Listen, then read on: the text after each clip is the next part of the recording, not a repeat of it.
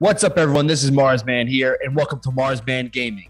In this video, we break down episode four of the Halo TV series, and boy, it's an interesting one to say the least. It gets me a little, little excited, and we'll we'll, we'll dive more into that a little bit. But uh, we're going to break down the episode in non-spoiler section first, and then we'll jump to a spoiler discussion afterward. But I can't do this alone. I need the Marzzman crew to help me out on this stuff. So, like always, I'll introduce you all. To my left is Haki, What's up, guys? and to my right is Langella Kill. What's up, everybody? So generally, the biggest thing, and we we've done a few episodes of this uh, so far, and and like I always do, I want to make sure it's clear. The first section of this is non-spoilers, so if you want to watch this to get a a clear uh, an idea of what the episode is going to be like and what we think about it, you're more than welcome to. We're not going to spoil really much. Um, if anything, we'll give like some episode hints, but that'll be kind of generally like some things you'll notice. The second half will be a spoiler discussion where we'll really dive in deep. So if you want to hear about that, please make sure you stick around for the second half.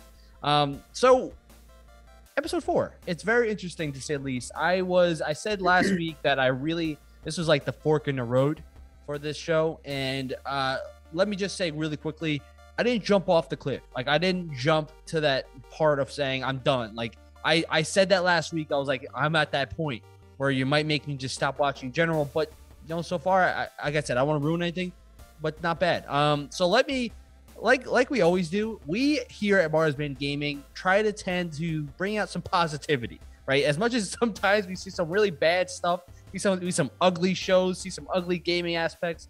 Try to bring out the positives, and I want to start off with get each of us giving our own positive that we saw from this episode. So, me first, I'll say my first positive. I thought that each story plot was giving me something interesting to watch and interesting to kind of say, huh, I wonder what's going to happen next. I mean, even the Kwan story arc, which I thought was like when I first saw this happen in the first, uh, the second episode, third episode, I thought this is the most dumbest thing that they could ever do.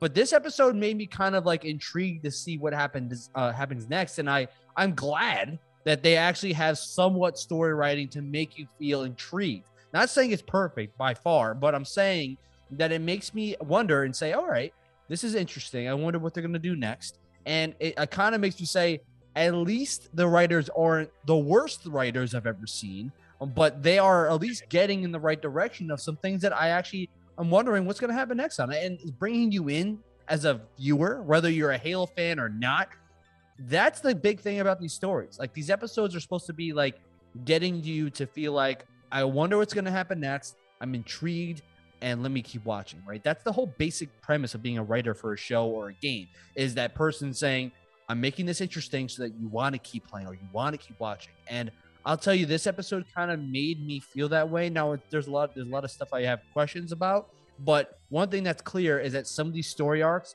had become more interesting than not. And I think that's one of my biggest positives I noticed first right out the gate. Um, but Haki, I want you to go first here. What is one positive that you saw from this episode? Yeah, so I've always um, I've always said the music, and again, the, music is is has been uh, at least one of the positives. Uh, but again, I, that's one of the positives that have been in every single episode. But I kind of want to piggyback off of you. I thought they had a lot going on. They had a lot of different stories that they were telling all at the same time. And I thought that these story arcs of kind of all the characters that they were going into um, were actually pretty good. So you know, not to not to steal you know what you were saying, but that was definitely one of the positives that that I saw. Mm-hmm. Yeah, no, I agree with you, man. I feel like that made you interested. Like, like I actually want to see what happens next. Even with Kwan, like you're like, all right, Yeah. sounds interesting, right? Let me let me see what happens next. Uh, Angelica, what's a positive that you saw? Yeah, I don't want to uh, us to all have the same positive, but I actually uh, they did a much better job in this episode compared to the other two about pushing the story arc and making it just more interesting. Um, again, there's there's definitely flaws um, that we'll get into in the spoiler stuff, but at least you know this week um, it it made me like you guys said a little more intrigued on what is going on and multiple things. Um, but to to get a new positive, so now we're all not all not saying the same thing. Kind of piggybacking off that narrative, I actually thought they did a really solid job of uh, pushing Halsey's character um, and, and kind of showcasing her uh, character and mindset to the audience. Um, you can kind of tell, and I'm not going to spoil it, but she has a, she's not a hero. Um, and you can kind of feel that she could be a villain, but it's kind of like an anti-hero where she does, you know, she does stuff that was important to save humanity, um, to fight the Covenant. But to get there, there was a lot of ugliness, and you can kind of see some of that in this episode. Yeah, and you know what? I'll, I'll even add a little bit to that too. The fact that the side characters, I think, were being more introduced and developed a little bit more, which I liked. Like Yeah. seeing seeing that side characters were actually like had some importance to them was a good thing. Like Halsey, definitely for sure, uh, added that whole mystery of is she even a good guy at the, or a good character like on the good Yeah. side here. Um, Soren and, and Soren, I was gonna say Soren had a lot of airtime, which is always a good thing. and Whenever Silver Soren, Team. yeah, and, and yeah, and Silver Good Silver Team got more- episode. yeah, yeah, like you know, if you're a fan of Silver Team and Soren, like we are, getting and like I said, you're the best three character groups I saw was Soren, Silver Team, and Halsey, and I said this for the past three videos, and you got the most out of those three char- those three groups in this episode, which is why I like this one and how they developed the story because you built it off the best characters you have. Now, I think that there are some flaws, but the Yeah. character development was pretty good for the side characters. Not for the not for the main character, but in certain extent. But the the side characters got a lot of stuff, which was good because the part of Halo that makes it most interesting was that it's not just a, as much as Chief's the dude. We all know that. But the universe is what it makes it so interesting. Was the people in the universe that have their own character arcs that's what makes the interesting part of it what halo is and they really did shine in that. Um now let's go to the negatives and i'm wondering because there's, there's some stuff here that we can go uh but let's just say firstly chief. Um negative comes with chief in a lot of different aspects and i'm sure you all will kind of mention this in some way. My biggest gripe with chief right now is i'm sure we're all agree but the the helmetless chief um, is annoying. Uh, I don't really like this aspect of it, and I'll say this. I said this every episode so far that it defeats the entire importance or the impact of always having your helmet off the entire time when you know you're constantly like you know the whole point of like whenever someone like chief that never takes his helmet off is always in is always in military mode like you don't constantly have to show your emotion all the time because then it defeats the purpose or the importance of it when you're constantly doing all the time. And that's just the basic writing component. Like you don't like you're trying to reveal that Chief wearing his helmet or sorry, taking off his helmet is a big deal, right?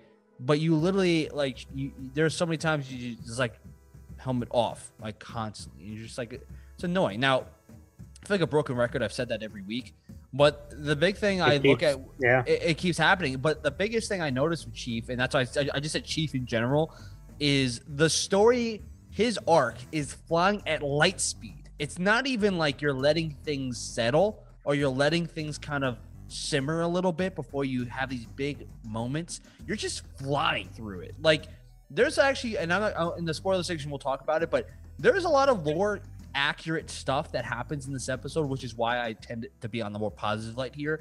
But a lot of the things that they're saying, you could save that to be more juicier when you let character development happen, right? You're just jumping into these big things that you're just, and like, granted, I, I like Spark program stuff. Don't worry, I was say, I was slamming the table for that for years. But my biggest gripe is that you're flying through story arcs, and it's like you're not letting things like the pacing is so off, right? And that's what my biggest gripe was with Chief in general. Now, I want to get everyone else's input on this. Uh, Langella Kill, what's a negative that you have from this episode? Yeah, Chief is definitely one. Um, I just hate the emotion. Um, I, I just, again, it just, and I've said this in past episodes, it feels like Pablo Schreiber's playing a different character. He's not Mhm. playing Master Chief, and, and that just continues. Um, but another uh, disappointment to me, and I am going to spoil this a little bit, um, unfortunately for the viewers, you're not going to see any Covenant this time around. Um, and to me, that's a negative because I actually think Covenant is the best part of the show so far. Um, and you're not going to get him in this episode. So to me, that was a big negative. Taki, what? And trust me, Kill, that we'll get more into that in the spoilers section. Um, but that is annoyance. I, I'm annoyed at the fact that the, the we had a big scene. We had a lot of Covenant in the last episode, and this one we had literally zero. It's just like, huh? But Yeah. Haki, An what's hour, like you get an hour show and, and you can't get any Covenant. not even five minutes. Like in, in the first episode, we got like five minutes of Hamaki Yeah. talking. Like you can give me that, and at least that's something that gives me like because remember, there's three story arcs kind of happening at the same time in this part, right? Technically, there should be four if you're including the Silver Team now as one another story arc. The fourth one you didn't see a single thing about, which is kind of not a good thing. Like you you kind of can include them, right? That's, Yeah. important. Um, Haki, what's one negative that you have? Yeah. So again, not, not to steal anyone's and anyone's fire here, and I swear to God, we didn't rehearse this before. No. Uh, yeah, the, the biggest thing was no covenant, no Makee, none of that storyline. Um, I I thought they were going to show up, um, and we were again going to get some action from Chief. Uh, hopefully, I'm not spoiling that much, but you know, again, Chief didn't shoot a gun. He- I don't think he shot a gun, right? He didn't, No, didn't shoot a gun. Again, multiple episodes. she imagine that Chief not shooting a gun for two 60 minute Yeah. Episodes. And Two, like so we have we have how many more episodes do we have left? five We- more. Five. Okay, so again, we got five more episodes. Right, like almost the halfway point. Next episode's the halfway part of the season. Okay. Yeah, I mean that, that that'd be my that was probably my biggest negative. There were cool there were a couple cool like covenant things that we'll get into um, you know, later in the podcast. But yeah, man, just just no action really on Chief's side. Um and obviously yeah, the, the helmet off, it's uh it seems like he's gonna have his helmet off at least eighty five percent of the time. Yeah. Mhm. Nah, At, at- at this point, it's it's like you know what you just It is. are. It's numbing. It's like you kind of feel like I'm so angry at this, but you know, Yeah. just at this point, you just know he's not wearing. And honestly, you can you can honestly make a joke out of it. You should you should if you should make a drinking game and say every time Chief like takes his helmet off, um, you should have a shot. Oh, you'll you might be- you'll be plastic. You hammered. might be. You'll yeah, be hammered. you- yeah, you like, Like, and don't Yeah, do it the opposite. If you take a drink every time you get put his helmet on, yeah. you'll be sober all night. So that's So- that's the point. That's the point. Um, or you know what you should do? Have a drink every time Chief gets emotional. It, that'd be, I think, a little more.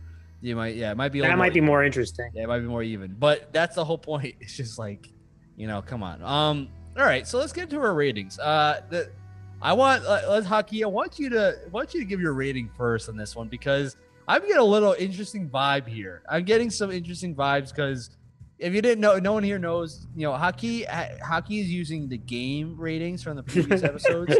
Um, and because He's a generous. He's a generous he's been generous. He's been generous, and I, I honestly applaud him for being generous. Um, because being Angelic Kill have been brutal, and uh, so I want to get your your ideas, and I feel like I've heard some some feelings that you might might be changing your your outlook on this one. But let's let's see what you think. So, Haki, what do you think of your official rating for episode four? So yeah, I mean, my official rating it's better than the last two episodes, like no doubt. But I had high hopes that Chief was gonna be in action, and if Chief was in action, it was like on his home planet against the Covenant, maybe we saw some really cool stuff. I thought it possibly could have been better than the first episode. First episode, I still have, I think it was like a seven-two. This one, I'm going to be giving like a six-five, right? So higher than the last two episodes. I think it was better than the last two episodes. Um, thank God Chief wasn't naked again. Um, you know, we got the other. You know, He did other- get some ass. no, he did. He He did get some cheeks out there. though. Well, We'll go in there to spoil we'll spoil that later, but um, you know, like it, it was the episode was better than the last two, and the reason why is because, like you guys said, there was a bunch of different storylines. I liked the the the um the Kwan and the Soren storyline. I thought that was really cool. Um, he had some cool action scenes with that like revolver, like Deagle he was rocking. I thought that was uh, a pretty uh, cool scene as well. But uh, yeah, it could have been way better if Chief had action on his home planet. Like it would have been so much cooler. Mhm. But six. I got you. I got you. All right, that's respectable. Uh, Angelic Kill, what's your rating and why? Yeah, I agree with Haki um, about the premise that this was a better episode than the last two. No question about it. Um, my ratings again, a five for TV shows and movies is, is average to me, and I have, this at five point five. Um, so I think it's slightly above average. Um, not as good as the first one because I thought, again, what really hurts this show and what is continuing to hurt the show is the lack of action. And I thought the first episode action uh, scenes were better till to this point um, than what we saw even in this episode. But this had more action than the last two episodes, almost combined, right? So um, again, that's where it's better than the other two, but still not hitting uh, great marks for me because we didn't have Covenant. Uh, we didn't have enough action. Um, and again, there's some scenes, and we'll go over in spoiler where I actually thought they were really intriguing scenes that they kind of just cringe you for whatever reason. It's like they're doing it on purpose, where they just create a cringe-worthy moment in otherwise scenes that I actually enjoyed. Um, so that's kind of where I am. It's just, um, again, I don't want to keep punishing them for the same character flaws that we see from Master Chief, um, but they did do a better job with some of the side characters that we talked about, and so that's why it's better than the last two, but still not as good as the first one. Five and a half. Yeah, listen, I completely agree with both of you. This is definitely better than the previous two episodes, and like I mentioned at the very beginning of the show, I was at that fork in the road, man. I was literally sitting there fuming by episode three, and after episode two and three together, two straight weeks of just straight, uh, straight, um, uh, you know, filler episodes, and I was literally right at that point of saying, you know what, it was garbage. Done. It was just straight garbage, and I, honestly, I was at that point of just jumping into the trash heap and just getting through the trash compactor myself. Um, but the whole point is this episode made, and I said this beginning, made me not jump into, off the cliff you're just looking still, over the edge. yeah, you're looking over the edge. Like, to, still makes yeah. me like, yeah, like, all right, I'm not jumping yet. I'm not jumping yet. Like, but like, please, like, let's let's make sure I don't jump, right? And I agree with you. I thought the fact that the storylines, and I mentioned this in my positive, the storylines have made me interested, made me intrigued. I, I already know I'm gonna get some cheeks, whether it's Master Cheeks or someone else's cheeks. I know it's gonna come at some point but at least the story arcs made me interested to say, okay, let me watch and see what happens next. And because it kind of makes you wonder, all right, to for for example, the Soren Kwan story arc, in my opinion, this might be a bold take, is the most interesting story arc right now. Like, and I was sitting here like, Kwan is one of the most disliked characters, like uh, by far. It's not just me, not just Marzzman Gaming, and like this is by everybody. Like I looked at every YouTuber, content creator, Halo content creator, and they're sitting there like, I don't care about Kwan. Like, and honestly, this made me kind of say like, I, don't necessarily care about Kwan, but I kind of care about the story. I kind of like interested because I'm like, all right, this is actually not bad. Like you actually introduced some pretty good characters. Soren's Soren's a badass. Like I mean, I like that. Like that he's a fact that like he has action and stuff like that. So I'm interested. And the side characters were developed. You have Halsey expanded upon, which I liked. Silver Team expanded upon, which I liked. Soren expanded on. Even Kwan and the whole thing with her dad. That's we'll Venture. talk more about that. Venture is expanded upon, even though we see some cheeks, but you know, Venture. You know, we we get some expansion of the lore, and I think last thing I kind of just mentioned said it. Though this episode had more lore components than any other so far and that's what may, I think makes it different compared to everything else. And it makes me more intrigued and more like, okay, they use some things that the lore had, and I like that part. So if I'm giving it my rating, and damn, I gave a lot of positive things there, I'm to give it a six. I think this is not to the same level that the first episode was on because of the fact that first episode had literally almost half of that episode was conflict, had a lot of action sequences, had animations. It had the Covenant, right? And this episode had some action for had sure. the Chief, it had yeah. Master Chief fighting with his helmet this? on. The Chief had his helmet on for 95% of the show, right? For that episode, I mean, right? It had Chief similar, to the most similar I've seen him to what Master Chief is like. That's the point. Chief was the closest to lore accurate. Everything was lore, it was closely lore accurate right? This episode had a lot of that lore components, which I like. I like to see in a show like this, like the Spartan program and stuff like that. So I like that stuff, and that's why I'll give it a six. It's not the, as good as the first episode, but it's clearly better than the previous two. And I, am sure that some people are going to say like, "Well, I don't think it's better than three. I can, I'm sorry, but you're high. If you're telling me that you're you're on crack, if you're telling me this is not good as last episode, right? And I'm kind of wondering what the next episode is going to be about. But boy, does it get me interested. I'm looking forward to seeing what Thursday has in store. Um, so that's my that's my rating, number six. So yeah, guys. I mean, listen, we are po- a little more positive this week compared to last week, and um, that's going to be concluding of our non-spoiler review. Next section is the spoiler discussion, where we're going to talk about the three different sections of the episode and break down different things we liked, what we didn't like, and just get our general reaction. So if you want to see us freak out over some things, make sure you tune into the second half. But if you're not, thank you for watching. Please make sure you drop a thumbs up and subscribe for more future content. This is Marzzman Gaming. Now on to section two. Well, guys, section two is here. We are talking about the spoilers of episode four, and we're nearly halfway there. And let me just tell you, I think the beginning of this was very interesting. I can't tell which one I like the most. I think I like the ending, the third section, the most, in my opinion. But the first section has some really good parts. I think the first part I'll talk about though is it. The episode starts with this whole the Spartan program chief returning back to his home planet of Eredidus. I probably butchered that name too. And uh, basically going through some backstory of Chief um, and go showing some things that he was like looking at some artifacts. He was seeing the visions and drawing them on pieces of paper. And a lot of this was, you know, kind of coinciding with Halsey and the, the assistant that's trying to constantly make out with her. And I, I think that these this part this part was interesting. Um, now obviously not wearing his helmet the entire time, um, but that it gives you some backstory of the planet, right? And I think that's the first thing I'll talk about. So generally, in my opinion, I liked seeing that. The fact that they added in the Spartan program finally, kind of talking about like, you know, Chief is like well, that rebel. He was kind of leaving the camp all the time. He was constantly never really like that person that would stay all the time there. And as he gets older, and that's kind of part of the lore, he did do that. He was the most cunning, the luckiest, the best of all of them and he was able to leave all the time. They couldn't stop him, right? Even as a kid, right? And at the point is, is that he changes as a character, right? But I like this part. I like the fact that they give some background. They develop a relationship between him and Halsey, right? That's something that is really cool, and I like a lot about this first part. So I kind of want to get your opinion. So, Angelica, what do you think about this first little section of this relationship building between Halsey, Chief, and just some of the background lore of the Spartan program? Yeah, I, find it interesting. Um, and again, it gives you kind of the insight of, of how young they were when it started. Um, you know, the kind of the motherly figure that Halsey had to become, um, especially to Master Chief. Um, so all of that was interesting.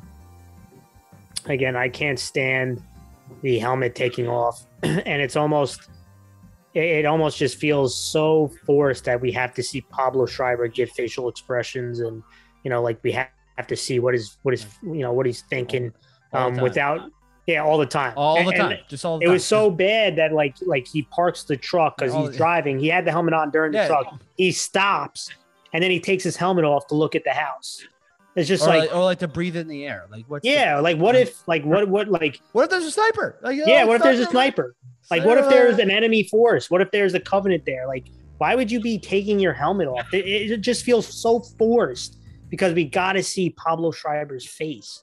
And that's the part that just continues to just nudge you. But outside of that, the rest of the part was intriguing. But it's just hmm. like those are the cringe moments that I'm talking about. There's more, but it's just like the cringe, unnecessary things that you could have shown. And I actually didn't mind when they zoomed in.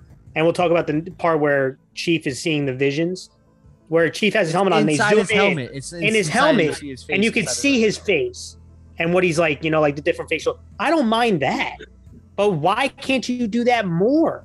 That just doesn't make sense to me. So that's the part that bothers me. But the backstory was very intriguing. Mm-hmm. So, Haki, what did you think?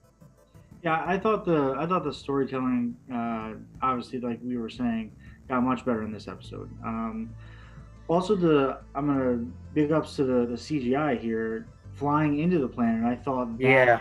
little scene right there looked cool. The the um, you know asteroid ring around the planet, the planet yep. itself, the spaceship in space. At least they're like spending money on some CGI. You know? yeah, something was getting spent, right? yeah, right. So I thought like the CGI looked cool. Even like the planet that they're on uh, looked cool as well. And then yeah, that that dynamic storytelling where you see what happened during the Spartan program when they were young, and then kind of what happens we'll we'll get into what happens later mm-hmm. when things kind of get a little sketchy between um, Halsey and Chief. But um, again, I thought this first part was was good.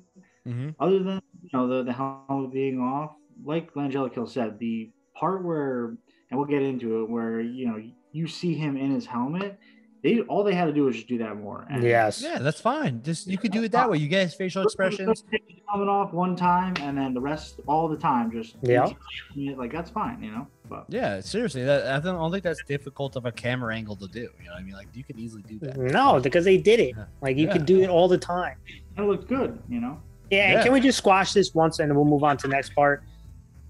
I understand Spartans not being fully equipped all the time, like when they're in the barracks, when they're in the ship, right? Because like those are not normal things. But when they're out in the field, it makes no sense for the helmet to be off. I'm sorry, No, seriously, unless like, you're they- just trying to show his facial expressions and force that upon the audience. Seriously though, like, you're in a battlefield. Like how? I mean, granted, like Eruditus is not a battlefield per se, but They don't know. it, there, there's there was there was a parasite. There was a parasite that killed everything. Like, so let's just take our helmet off and just chill. We, we vibing out here. Like, I mean, what, what are we doing? So, I agree with you. But we, let's talk about the next part. Yep. Um, I want to talk about Madrigal. So the story, the Soren and Kwan story arc, has them going back to Madrigal, which is the first planet that they were on in the very beginning of the show. And basically, this place is turned into now a like a puppet state, I guess you would say, for the UNSC to kind of like control it by having Venture, who is the leader now of this new rebel group, that's kind of like a uh, you know uh, you know a police state, basically where he controls everything.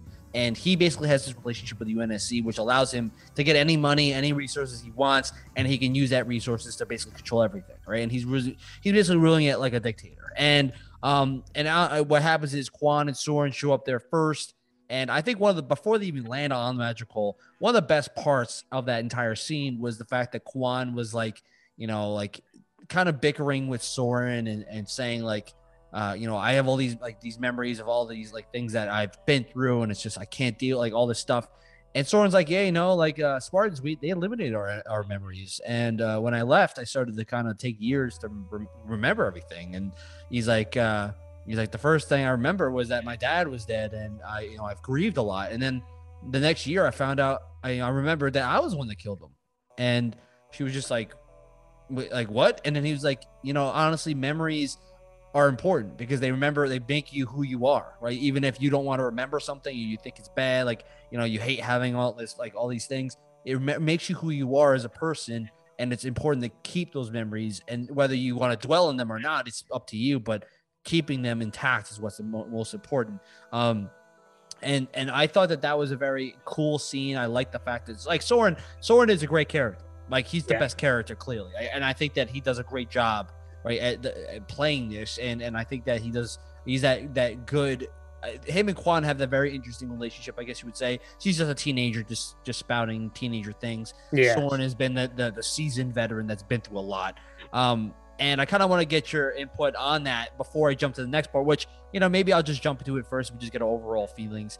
Um, basically, when they land on the planet, you know, Kwan is a, is is wanted, right? She's got a high bounty on her head, and basically Soren's like, "You're gonna keep that hood on, and we're gonna have to, you know, bob and weave through everybody to get through." So she does, and I thought one of the dumbest things is that every like for someone who's a, basically fugitive on the run, she makes it her purpose to go find people and make it known that she's back in that place. Like it's like the most weird. I said this to Jill Kill off screen. I'm like, this is one of the like the dumbest things, like common sense dumb things I don't really understand. I get it, like she gets emotional, but like the first thing she does is she goes and like finds the first person she sees and like, hey, I'm back. Where's the rebel force? It's ready to go fight everyone. Or then like goes to somewhere else, like, hey, I'm back. What's the, where's the rebel force? We gotta fight again, Fincher. Like this is a police state. Everyone's afraid of dying if they even see be associated with the rebel force, and you're wanted for, to, you know, you're wanted. So, you know, it's the first thing that Soren tells you: don't make a, don't make a scene, don't be obvious. And what did she do? Make a scene and be obvious. So it's kind of like one of those dumb, like, I get it. She's a teenager. I just like, I'm like, all right, this is kind of like, it's like you're just like over the top with this little part. So I want to get your opinions. So, so what do you guys think about this? Was this Soren? You know, the return to magical as as epic as you imagined? Was it you know was it solid? What do you guys think about this? So so Haki, I'll let you go first. Yeah, so uh, like you, like you said right in the beginning, that dialogue in the ship uh, before they landed, I thought was very very. Um, it, it was probably probably the best dialogue of of the uh, of the show, right? Uh, again, Soren, like you guys were saying, he's probably the best character, uh, no doubt, and he's allowed to have his helmet off, right? Because he, uh, he He's he's, ba- he's basically messed up. His body's messed up from mutation. He physically can't put it on, right? Like like that's literally the reason why.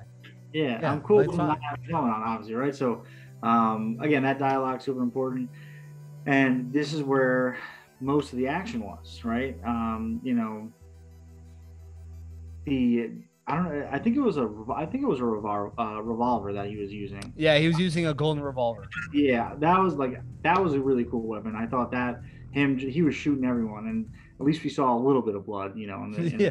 the first episode, people were getting their heads blown off.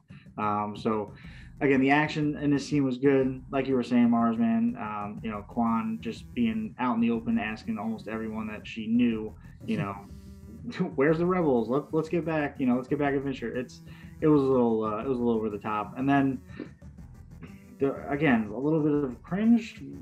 You know, well, we'll, we'll, just- yeah, we'll, we'll talk get- about some. Well, don't worry, we'll talk about some cringe stuff. Don't worry, don't you worry. Yeah, yeah, Yeah. I'm just talking about the just the entry to the planet and this will yeah. So we'll talk. Don't worry, don't worry, guys. We'll we'll get to that cringe. Um, the entry was good. You know, the dialogue, the beginning action, I, I thought was uh, was top notch. I got you. So, uh, so Angelica, what did you think of this this first uh first part? Yeah, I think the dialogue was actually the second best of the episode. Um, we'll talk about the, I think, in my my opinion, the best dialogue at the end. Um, but um, I like that conversation. Soren, I agree with you guys, is the best character right now. Um, when they got on there, they went kind of to a, a marketplace. Kwan uh, found someone he knew. Right, took the hat off right away. Hmm. Um, I get it in the beginning, but then she like chased after him with without her hood on. You know, it's like that's the dumbness. But again, she's also a kid, so like I actually, it's not. I, I'm not gonna actually hold that hard because they made it sound like they made her out to be like a naive kid, um, which that's what she showed. Um, so I actually wasn't against that kind of stuff. Um, so I actually thought the scene was pretty solid. Then they go to her father's funeral. I'm not sure if that's the second. Yeah, well, that yeah, that was actually the first part. Yeah. This, So this- a- this- after that first part was pretty solid. So I actually thought it was. It made it like I said the most nervous thing. You started to see some intriguement, and then it actually got better as the as the show went along. Mhm. Yeah, so I, like, let's just keep chugging along. The last thing I want to talk about for this first part was we got the first um the first scene first first cheek scene of the show, which was uh, one of the Spartans had removed the emotional chip uh, from from their cheeks, and uh, they started to become more emotional. And we got the the first sense of this, I guess, newfound emotion was with that same Spartan had put bullet oil to change the color of her hair to kind of be, I guess, this this defiant teenage, you know, you know, uh, you know, hairdo. I guess would be against the UNSC standard, right? Um, but the whole point I kind of wanted to get across this was that the Spartans are going to become more emotional. Specifically, you know, I think it, I I could be making a bold take here. I think the other Silver Team Spartans might do the same thing. I I could be wrong. I just think my you know my hunch is that you already see one Spartan do it. I think they and they're all like they're all pals. They all group together. They all work together. I think they're all going to start recognizing that you could take out this this thing, and life is just better all around, right? And you might be able to like you could still function as a Spartan, but you have emotions that make you a human. And I think they'll all do that at some point. I just hope they aren't having some cringeworthy things. We'll talk about that in the second section because there were some cringe movies, uh, some parts here.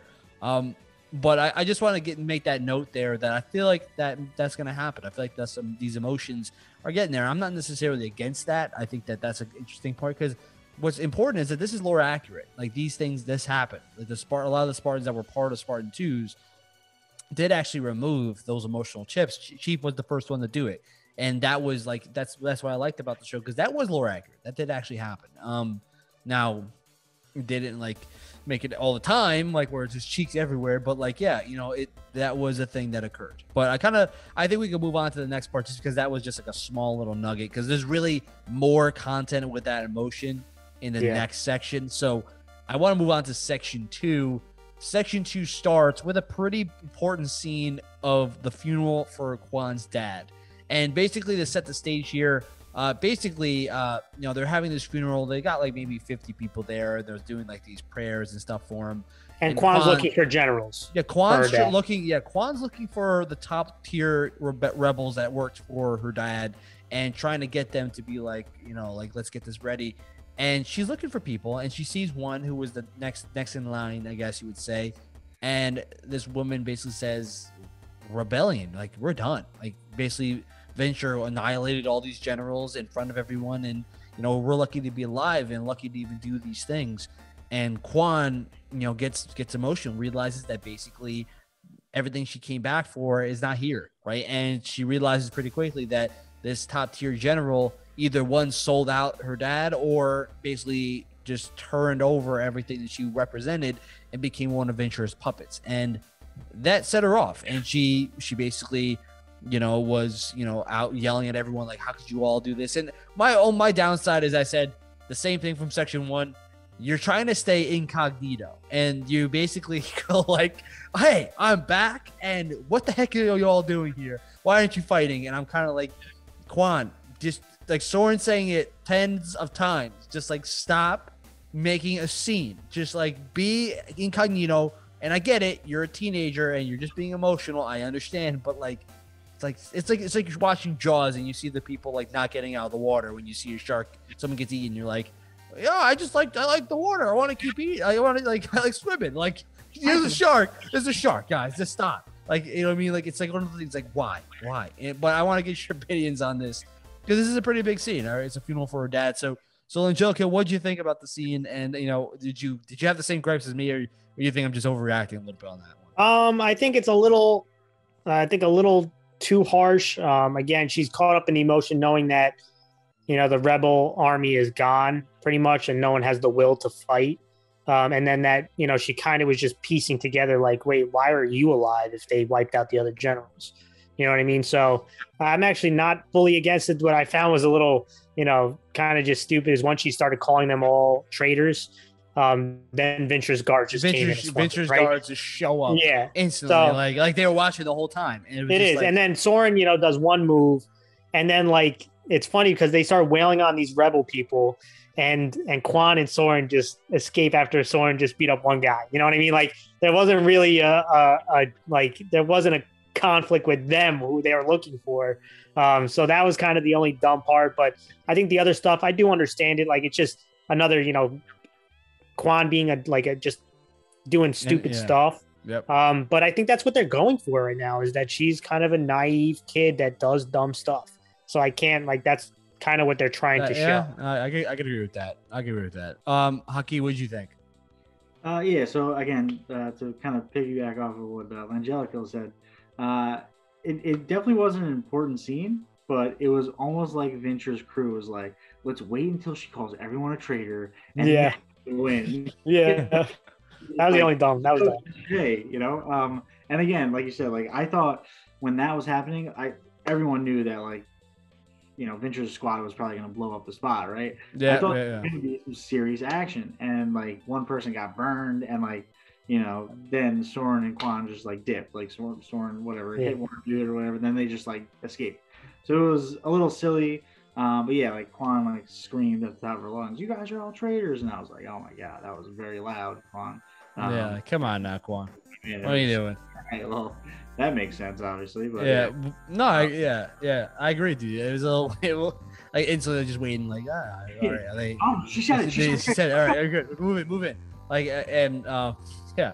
So, I, next part I want to talk about is the going along with the Silver Team. All right, Silver Team now was tasked with Miranda Keyes to now use them to kind of investigate this new artifact because now she's got the funding. She's got the funding, and now she can go investigate this without her mom there. She's off the ship. Don't worry. Now you go, you go test it, right? Um, she's doing that now, and I thought I like the scene because basically what happens is they're they're all like sitting there, and they all have this banter where you know the Spartans are all like you know obviously they're, they're like they're what they're supposed to be. They're all you know stone faced. They're all doing what they're supposed to do, and they're all like they're doing what Miranda Key says, but they're also all like you know we know a lot about the covenant that you know you guys just assume that we just don't know anything. Like we do a lot like for the UNSC. Like we we investigate all these things.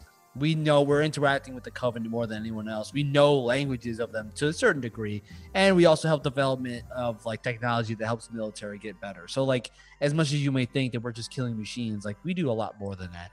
Um, and I kind of like the fact that Spartans kind of like did some slapping back per se because I felt like that, that kind of needed to be said. Like it was like you know everyone it was like to a certain degree like even like the previous episodes they had those committee meetings where they just kept talking about like, the spartans are basically like you know they, can't be they have to be controlled. They're like they're weapons. And and like well you know someone has to also say like you know these spartans also did like a lot of stuff. And they even with them not being fully controlled they were very efficient at being of doing like these things. And like and maybe we can use them more than just like sending them out and just killing everything. You can use them for resources because that's what they are. Like they're resources as people too. Um and i kind of like that. They were analyzing all the different covenant bodies and weapons and and and they were all like you know uh it was like this crazy like miranda was like wait like you guys know things about the covenant? And like yeah like we we fight them daily like all the time like we know their weapons we know we know how they work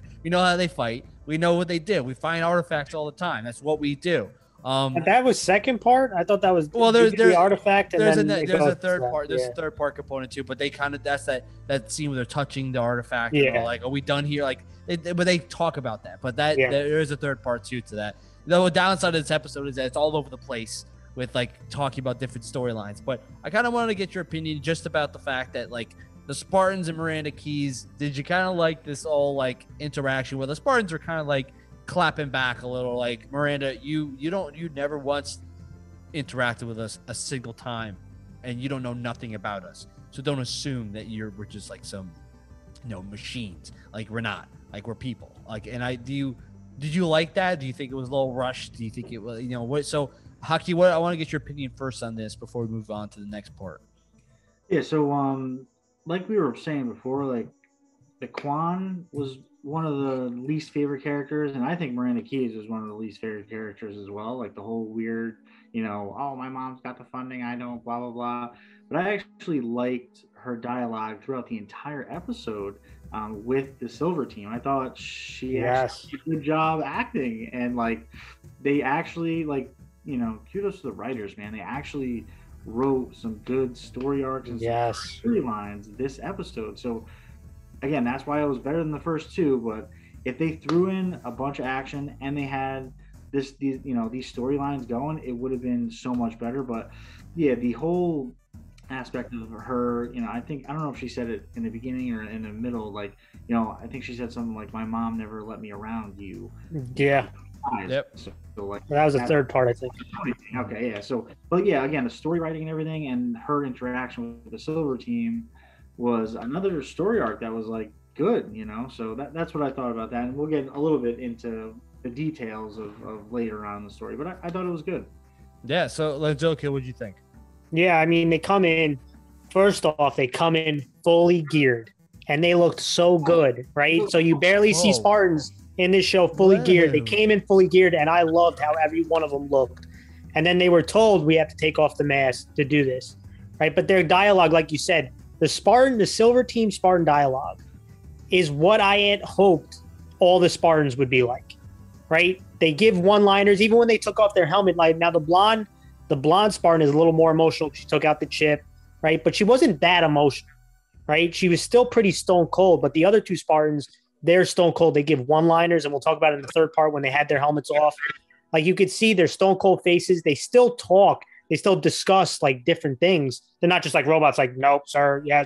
Like they talk, but you can kind of see that stone cold killer uh like persona that they're supposed to give as Spartan twos. That's what they're supposed to be.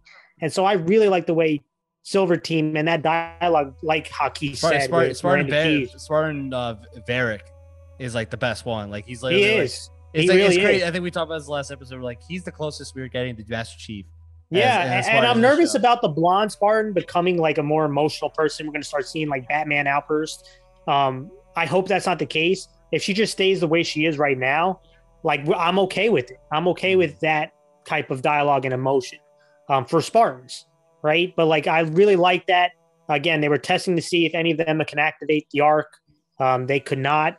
Um, so like that was a really, I really, I agree with Aki. Miranda Keyes was like either the first or second most disliked character. This was actually good dialogue Man, for her. made, made her made her better, and I'm glad because Miranda Keyes in the games is a good character. So Yeah. thank thank goodness they didn't butcher her character to. And now, granted, so not even halfway yet, but this episode did a pretty good job at doing so. Um, let's look at number three. So this is the the last last part of this uh, of the section was Chief looking at his memories, and this is before the final confrontation, final part. So this is basically the whole premise here is that you know Chief Halsey and the weird doctor's assistant are at the house the Chief lived in, And basically, using Cortana, he can reset or re or look through the memory, not memories, but look at the house and what it looked like before it was destroyed, which is pretty interesting and pretty good job of using CGI. Wow, spending money here. That's a good, that's a good thing to see, guys. So they use it. They they basically chief and guess what, guys? Yeah, sorry, my Siri's talking. Yeah, yeah. Guess what, guys? Chief has to put on his helmet. This is crazy. Cortana's like, Chief, I know, I know you don't like it, but you got to put on your helmet, and I, that's I can use. I can show you what the house looked like. Fine, I guess I have to, and he just puts the helmet on the whole time, right?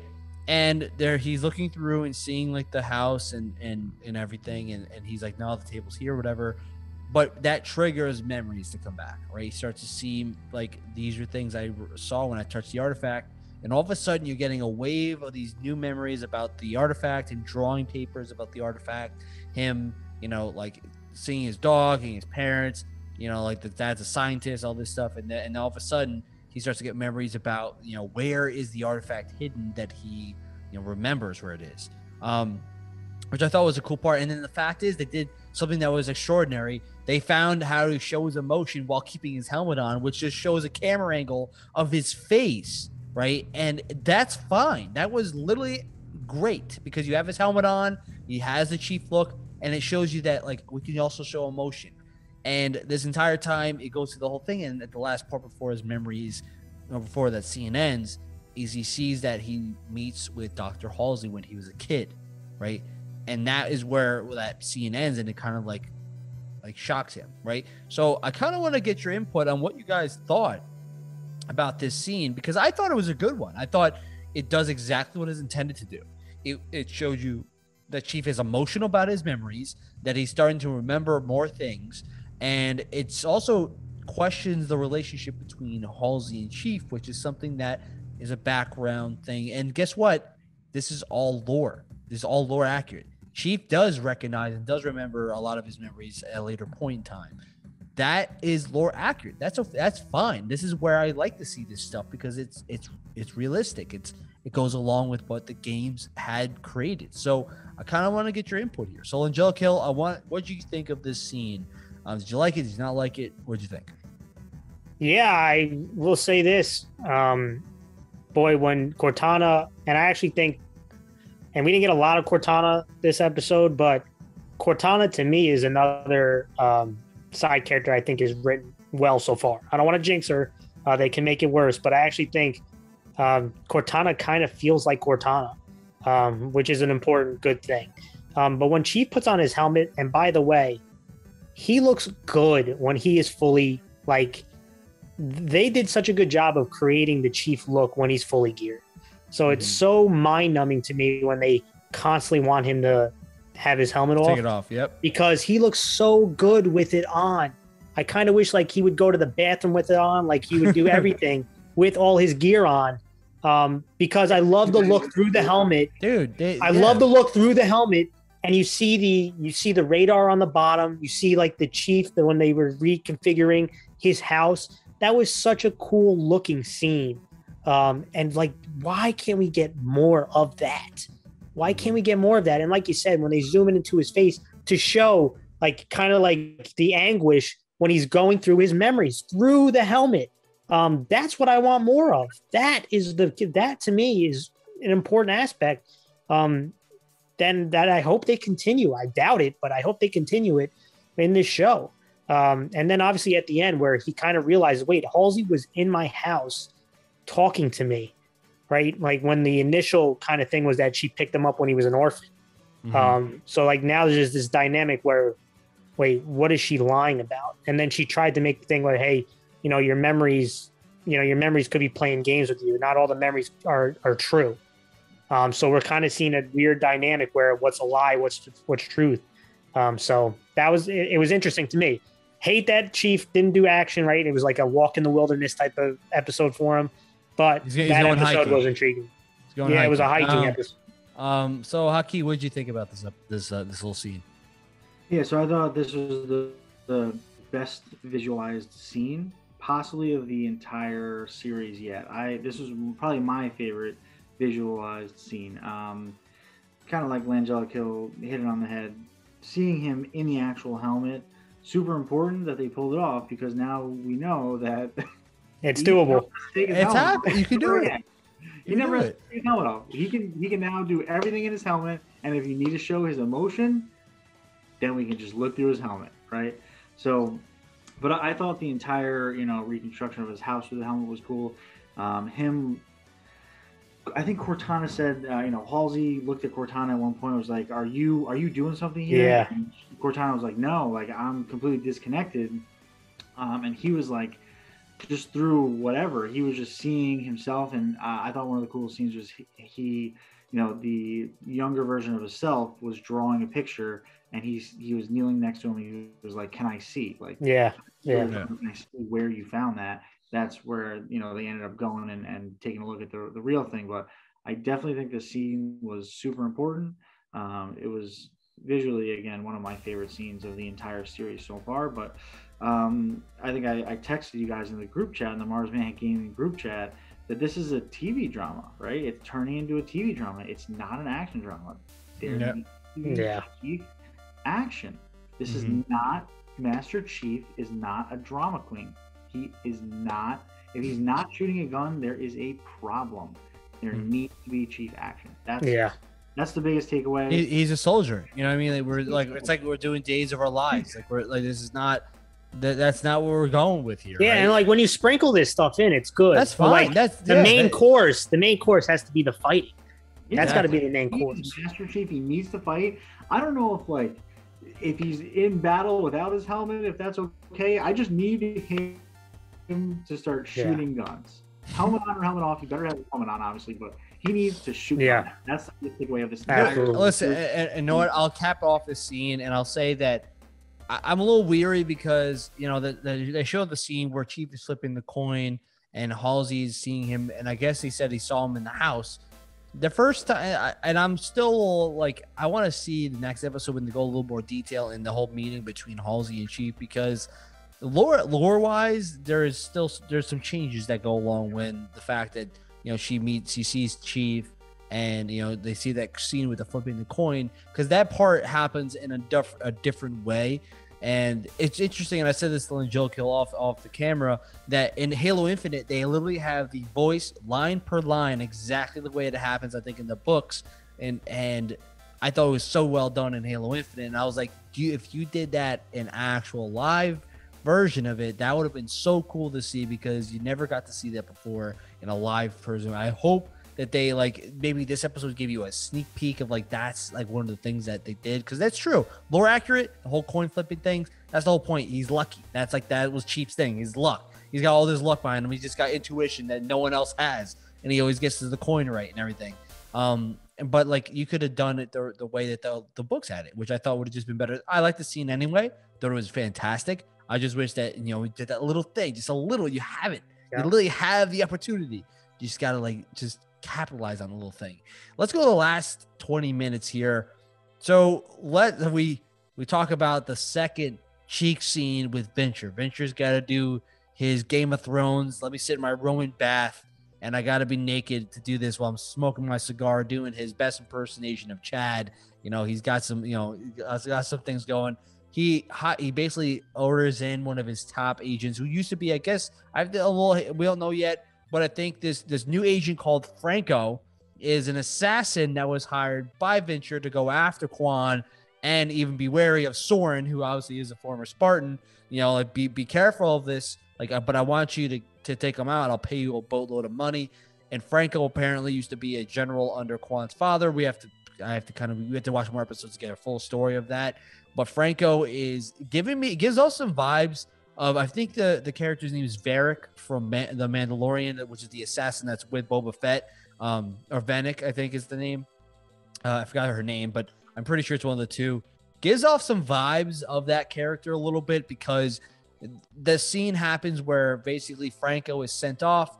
Kwan meets with meets up with her aunt, and they find out that all the money that they had left over is gone, and that money now can't fund this rebellion anymore. And when that happened, all the generals just pieced out, and Soren is pissed off. He's trying to get his, his Oh, the shit back. soldiers, not Yeah. the generals. The generals got killed. jo- yeah, sorry, the no, I'm saying yeah, the soldiers. Yeah. When there's no more money, they ain't fighting anymore. And Soren is off trying to get his ship, or at least try to get away off the planet because he's like, there's nothing worth here anymore. And he's basically trying to tell Kwan, like, listen, as much as you don't want to admit it, it's over. There's nothing that we can do here for this. And just as that's happening, yeah, but know, thi- while while yeah, and, Yeah, so before you continue, before you continue, what the ant said to Kwan was also really, I thought, yeah, really with the intriguing. mystics, with the mystics, Yeah. and which which I, is actually a lore thing.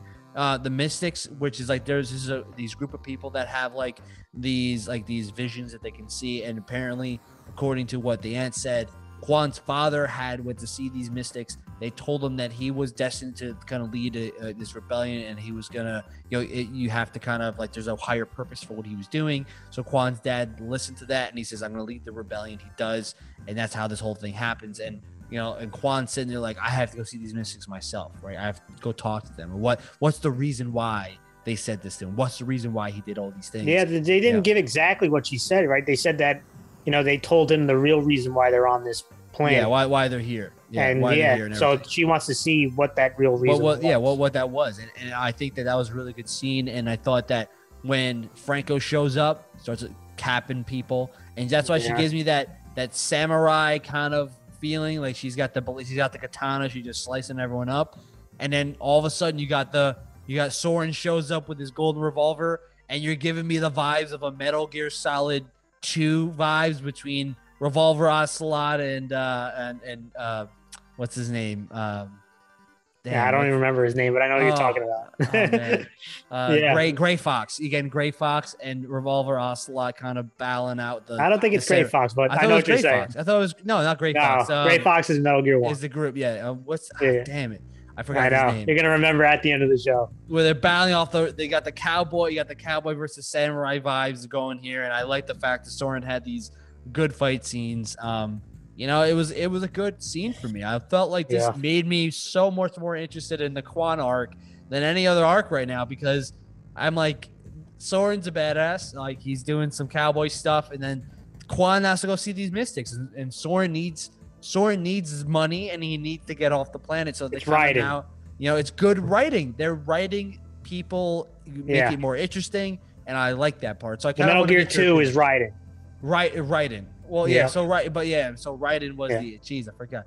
Yeah, Raiden. Um, but you had that that sense of the you know the samurai versus the versus cowboy vibes, and I like that because Soren uh, Soren does kind of remind me of a Revolver Ocelot a little bit there, with the way he was fighting and stuff. So I kind of like that. But I kind of want to get your opinion. So, Haki, what did you think of this this little venture cheeks and uh, the Franco Franco assassins? You like this whole combat stuff that was going on? Yeah, yeah. So um, again, the writing in this uh, in this episode was good. Yeah, except for the the cheeks, right? So you get into the pool. Too much I'm- cheeks. In my in my mind, I'm like, oh my god, stay in the pool, listeners, stay in the pool, stay in the pool, stay in the pool.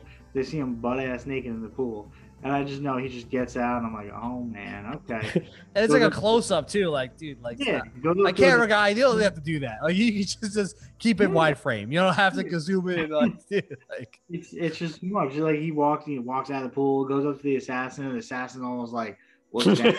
that is?" Like gets him a robe, you know. Jesus Christ, you know. Um. So yeah, other than that part, I thought the assassin. I don't remember her name. Franco. Um, right, yeah, it was Franco. Okay. So well, yeah, Franco, I thought did like a, a cool job. You know, um, she was using the the katana. She busts into the room, just absolutely slices the throat of The uh, ant. yeah, the Wow. end. Like, whoa, just like, jeez. just. Yeah, and then she gave a badass line like, "I'm cleaning up your father's mess again." yeah, So like they knew each That's other. that's we don't know what kind it part is, but yeah. that was a cool line. yeah, Um, and then Soren coming in. writing, yeah. So, um, yeah, she comes in with a katana, slices the throat. Um, then Soren busts through, throws a cap in her. She jumps out the window. She does like this, like this cool, uh, yeah, Assassin's Creed like thing Yeah, going so- down. yeah, well, I was thinking of, uh, uh, Prince of Persia when like Yeah. do some super, do some Super Mario wall wall jumps. yeah, yeah. So like I, I thought that dynamic was dope. And then yeah, again, I'm not super into the lore like you guys are. Uh, I know you guys go deep into it. So the whole mystic thing, I thought just even if it was lore or wasn't lore, I thought the whole mystic thing uh, was like a cool concept. But knowing that it is lore now, that's even cooler. So again, if they keep writing it correctly, Kwan's story arc could get better, you know. But Soren's still obviously a badass. He's got that that you know golden revolver. I hope he keeps that thing. Um, you know, hopefully he gets another ship and everything as well. But um, yeah, I thought that scene was good. Other than him getting out of the pool, he could have just chilled in the pool, made Hmm. his in the pool, and he everything would have been cool. Dude, Yeah. and no, Ellen Jill kill. And I'll, no, so, what do you think about it? Because I'll jump in. There's a yeah, part I, can I talk just say this is one of those moments I was talking about earlier um, about cringe moments that didn't need to happen. Because like Venture, I actually really liked the dialogue that Venture had because he was talking to Franco and he's like, you know, I pay you to solve problems for me, and he was like, I, you know, I've been through like a lot of stuff to get to where I am today, and I said I need you to handle a problem. Um, and then she's like, you know, the Kwan is just a girl. And then he said, you know, little girls can grow up to be, you know, problems. Um, and so he's like, I want, yeah, I want you to, uh, you know, get rid of this thing before but you know, it, it you know, rubbles the the, the it, it creates more rebellion. problems. It creates more Yeah. problems. And so I really, it was such a solid scene. And then you know, puts off the cigar in the in the you know thing. But then again, they just had to throw in this cringe of him getting out of the pool, standing in front of her, just butt naked. Like Franco was like like oh, you could tell it was so awkward, and it was just like- unnecessary for a really good dialogue um, that was going on. Like, okay, you want to create a bad scene? God forbid you just do it like in his office, right, where he's clothed and just says, "Hey, I got to you know something to, that we got to talk about." It's got to be in a bath. What? All right, whatever. But like you know, like that was so cringe. But then that scene where the aunt is telling her big news that your you know your father, um, I think was like fed delusions or like we're we're gonna find out with these mystics what they told her father. Um, and while that's happening, and Franco's slicing through her her men, when she busts in, slices the neck, says, you know, that badass scene where you know I'm fixing your dad's uh, mistakes or or you know Your cleaning them up. again. Yeah, clean up Yeah, the cleaning them up. And then Soren comes in, badass, shoots her right in the wing. She jumps out of the window. Um, like that was a really cool moment. And the only downfall to me is like, damn, we only get one of those uh, an episode. Mhm. You know what I mean? Like, why don't we have more of this? Yeah. Um, that's the only downfall I see of it. I agree. Listen, like I think that this was one of the best. This is probably the best scene, if not second best scene uh, of the episode. And I like the fact that you had like multiple things happening at once, and you know, like someone's like, "Listen, you got to, we got to go. Like we, this, is you know, they're all going to be here any second. We got to get out of here. We got to move forward." And like I said, it adds intrigue, it adds conflict, it adds, it's just good story writing at that point. And that's the point. I like this scene because it does all those things I like to see, and it's just a general show. And I agree. It was this whole. It felt like this was like a forced, like trying to mimic uh, Game of Thrones type of thing, where it's like they're, you know, like they're doing important story plot moments by having them naked. You know, and it's just like, like it's just Game of Thrones would be is infamous for doing the Game same of Thrones thing, light. people- yeah, yeah, it's like Game of Thrones, like light, like you said, just because Game of Thrones would do the same thing, but people having sex while they're talking Yeah. about really important details that you have to watch. But it's like it's just an awkward, like, uh, why? Like, why do we have to watch this? I didn't watch Game of Thrones because there was Yeah, way that- that's- too yeah. many naked people. Like the yeah, ratio. it, yeah, it was way off too off. But that Game of Thrones, it was like essential. You had to watch that scene, and that's what made it like cringe. Like I, I have to watch this. Like I have to watch people naked and or having sex, and it's like important. And it's like this is like that same thing. It's like they're trying to be a Game of Thrones when you didn't need Light. Yeah, not the Yeah, sex, yeah, but like they say- have to yeah, be but they naked were, like, when they're saying something that, like to make you like, oh, it's so it's so like yeah, you know, nudity, edgy. baby. Let's so go. edgy, like Yeah. naked talking to her, and it was just like it, you, uh, Franco did exactly what everyone was wanted to do: just grab the robe and put it on him, like just Yeah. just, just clothe up, dude. Like you can tell you can tell me this with, with clothes on. You know what I mean? Like you know, like but just put it away, bro. Like uh, and yeah, so let's let's move on to the next parts because this is where it gets more interesting to me. I think the next scene I want to talk about is Silver Team and talking with Miranda. They're investigating, looking through all these different things about the you know the elites, the the covenant, and I kind of mentioned this in the last section as well about like they were you know doing they're saying hey like you know we are you know we're we know about the covenant more than anybody right now because we you know fight them all the time. We know about certain parts of the language. And miranda's like wait yeah you guys like do know all this stuff. Maybe i could kind of pick your brains. And we mentioned before that they basically said you know what? I'm never even allowed to be even near you guys and i couldn't even get to talk to you once about anything because halsey kept you kind of locked down um, and I think that th- what, what I thought to be really cool was this like this like you know the Spartans were being their character. They're being their stone faced, and I like that Miranda Keyes was being written well in this part. And they find out that you know like some of the things that when they look at the videotape what Chief had you know found in that first thing, they find you know translations from the elite saying this is this Certain is words. sacred. This is a sacred ring, right? And all of a sudden, and this is where it gets a weird. The Spartan instantly goes, "He found a halo," and you're like, "Well, how did you jump to that conclusion without ever knowing what a halo is to begin with?" You know what I mean? Like, he found halo. Like, how do you how do you go from seeing sacred ring to jumping right to halo? And and I like the little touch they added. That once they said Halo, the original heard the opera, like the yeah. opera, like at the background, you're like, oh, Yeah, yeah. Ah, ah, ah. you're like, Yeah, that was cool. Halo, that's cool. I liked it, but I I was just kind of like, okay, like I get it. It's just like forcing, like oh, like it's like the family, like oh no, they said it, they said it. Like it's like you know, like that scene. It's like you know, like you know, you can you can Yeah. kind of you don't have to automatically just be like, oh, Halo, it's it's the Halo, it's a super weapon. Like they, they don't know that stuff yet. Like it's you know what I mean. Like that's that's the builds up to it, but. I'm just nitpicking, but the last scene, the little part of this that was a little weird to me or cringy, was the the last talk between um, Spartan and I keep, I keep forgetting her name, but Spartan and Miranda Keyes, where you know Miranda, I think it was um, it, I forgot who said it first. Someone has to keep this secret. It was like you have to keep this conversation between us, and I think it was Miranda Keyes was saying that to the Spartan, and and she was like, yeah, yeah, you don't, don't have to worry about it. And About the like- ring that the they ring. found it was a ring. But they found yeah. out it was a ring, and she's like, "Yeah, yeah, don't worry, I won't tell anybody." And then she's like, "It's kind of like like we're sisters now." And I'm just like, and Miranda, Miranda kind of like was like me that second, like, uh, yeah, that was weird. yeah, That was Uh, it's a little. Yeah, I was like, that's a little glitchy. Like, that's a little bit of a weird thing, and I kind of felt the same way. Like, then no, like stop. Like, let's not let's not make this like a like a teenager like drama. Like, are we like best friends now? Like, no. Like, th- just like you, you could you had Yeah. a great dialogue this entire time, and then you just like powder in some dumbness there. They're like, oh, I really like your hair. Like, like just like what? Like, what do we like? No, just just keep it keep it where it's at. Like, don't need to jump to that weirdness. But one of the best parts, I think, of this that connects, and it's kind of weird because my last two points kind of connect together, um, is how you know Miranda basically says, "Okay, that was a weird glitch," and she's like, "Well, what do you mean?" She's like, "Well, you know, for like say for example, Halsey, when she starts to see that people have like glitches, that she gets really uncomfortable with that, and she will do everything in her power to limit those glitches or control them, or even worse, get rid of them. And at the same time as that's going on, the confrontation between Chief and Halsey was got to heated moment where, you know, we said this before. Like Chief said he saw that Halsey saw him in his house.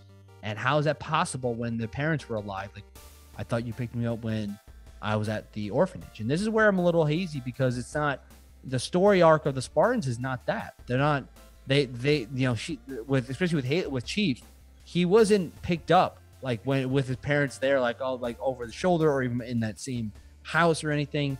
Spartan kids were picked up when they were seven, and they were replaced with clones that were defective and were gonna die anyway. So it made the parents think that like the kid just died of natural causes, but it didn't. Like, and the the only UNSC just stole these kids, making their par- all their parents think that they died, so that they never questioned it, and and then they they would train them right. So that whole part between Halsey and Chief, like saying like, you were there in my house, and I you like you, like that part I'm a little like uneasy about because that's not really what happens, and I'm like, please don't like change up that whole dynamic with that you can say that Chief and Halsey knew each other, like met each other before, because Halsey did like meet with a lot of these candidates before they abducted them, and Chief she met with the most.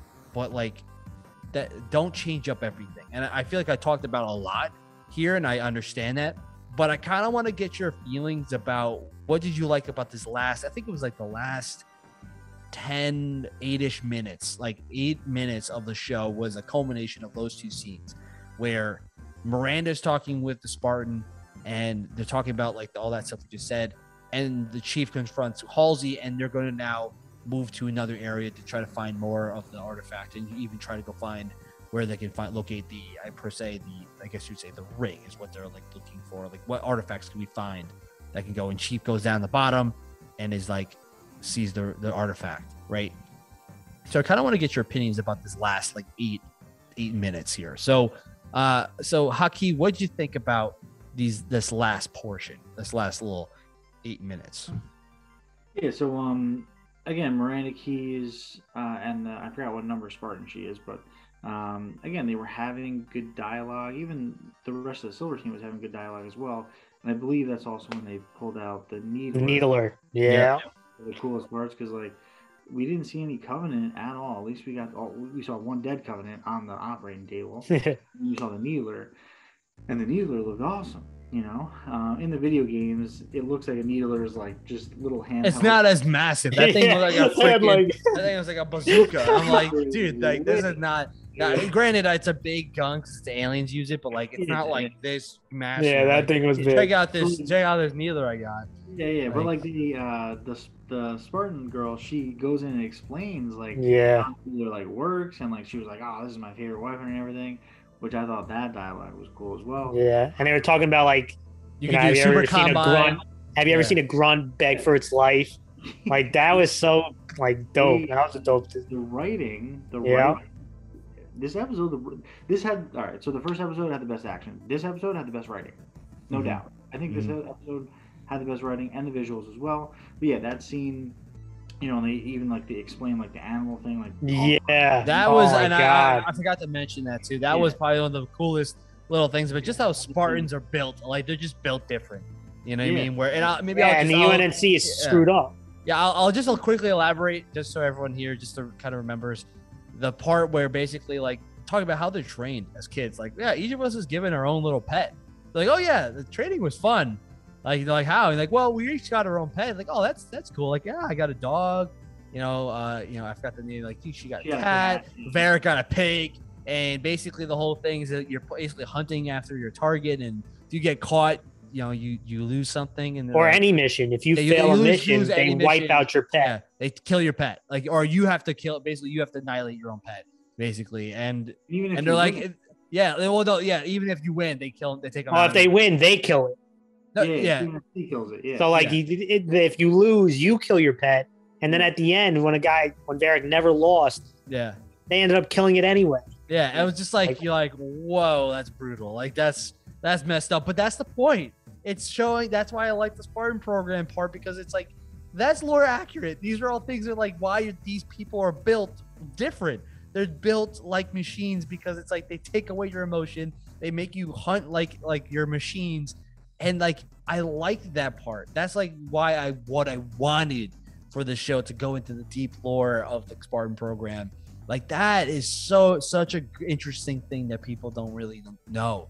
So uh, yeah, so uh, that part and like Haki said. So is there any more you want to add, Haki, before I go give it to yeah, so, um, uh, so obviously the Miranda Keyes and that whole dialogue was awesome, and then you know Master Chief, kind of like you were saying, Marzzman, um, at the end of his visions, you know, seeing Halsey in his house, like in my mind, it's like, all right, what happened to his parents? Did they die by the virus? Did Halsey just like kill him? Like, what the hell's going on here? You know?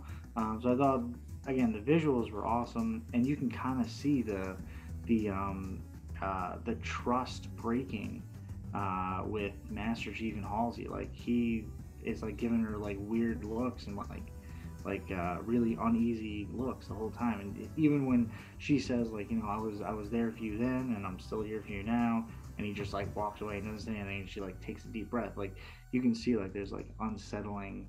Uh, like trust issues Dude, you could you could have given him his helmet and he could have done all that. Like, you know what I mean? Like just rock his helmet, just wear his helmet, and he just all he needs to do is just look anything. at her, just like look at her and just say that, and then he just looks forward and just walks away. Yeah. That would have and easily would done the feel, same. And you thing. feel the same thing. Yeah. And honestly, you probably would have even done better because you would see not like what is he what is his face like? You know what I mean? Like you're just he's just like if you have his helmet on, he looks stone faced all the time. So like you don't need to even have him do a stone faced look because the helmet does it automatically for him. That's kind of the point. Like you know what I mean? Like well, Angelica, what what's how'd you feel about this like last eight minutes? Outside the cringy sister and the oil hair stuff, this was really great. I actually thought this was some of the better non-action writing um, because the dialogue with Silver Team was really good, and you kind of get into the mindset of the Spartans.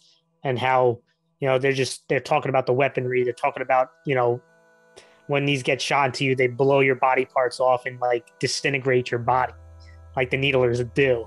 Um, so like that was such a cool part. Talking about like, have you ever seen a grunt beg for its life? You know, like you know they're just talking about like warfare that Miranda Keyes doesn't know anything about. Yeah, and Varys is like, "Oh, pathetic," and then they're all just like, "Yeah, yeah," and like, they're "Yeah." bringing and they were bringing up words, and then she was like, "This was finally like Miranda Keyes showing the intelligence of her, you know, what she was supposed to be instead of a brat." She puts together like, "Wait a minute, like, can you say those words?" And that's how they penciled in the ring stuff. So like, it was finally like the getting out of the brattiness and into like in actual intelligence stuff. Um, so like that was important. And then obviously outside the cringy sister part, when she show, started showing emotion, you know, having a conversation with her, she was like, you know, that's you're unusual because this is not how Spartans are supposed to be. And Halsey, you know, she likes people not human, right? So like when she says that, it goes into the dialogue of Halsey while the scene of them driving to the uh, artifact part, and it ends with she touching the art, you know, touching it, and she says that's when she brings up the glitches. And usually when she sees glitches, she either tries to fix them or get rid of them. And she's looking at Chief, and when Chief turns back to the artifact, you can see like the she had a smile on, and then it faded away.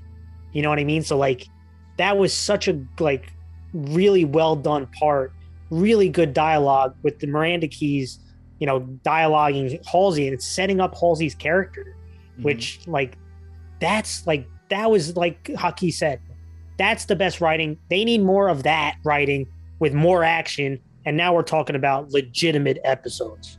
Yeah, no, I completely agree, and and and that's like the big thing I noticed. I thought like, the whole last eight minutes was the banter between Spartans and Miranda Keyes, and the whole like, and as much as people like the they rag on like I hate the whole cliche, I guess you say cliche of like a dialogue, and then they have like cut scenes of just people people doing certain things. Like, I'm not against that. I, as long as it's done right, then I'm perfectly fine. with it. And Yeah. honestly, it was like because like they she starts out with saying like you know Halsey doesn't like it doesn't like the way humans like when people are being more like humans. Because they can't be controlled. it- because they can't be controlled they act out with emotion. And it shows like the Soren and Kwan they act with emotion they act recklessly. Because that's what Kwan was doing. Then they go to like they like like like, like Jellicle Kill said like human actions are like glitches. And then like she there's only two things that she either fix the glitches or gets rid of them. And i really like that scene. I really like the way they ended it. And now it makes you like excited to see what happens next. And that's the part that i think we're missing a lot of these episodes was good story writing. Like i want to see more of that and i agree with you guys. So yeah i mean that's going to be it for our spoiler More Covenant. more give us some more covenant. Give us more some covenant. More give it and give more covenant characters. more covenant characters. Give us some more chief with his helmet on please. Give us some good story writing. Continue with that please because i And- really yeah i enjoy that man. And Chief shooting guns. Yeah please. I mean i really would like to see that. And It's been episodes. We haven't seen it. yeah guys yeah. So i mean listen i i think we did a lot of deep diving here and a lot of discussion. So please if you haven't done so yet drop a thumbs up and subscribe for more future content. And join us on our next episode review or breakdown next week on thursday. But we will be having a lot more content up until that point. So please make sure you tune in again. Uh, thank you for watching.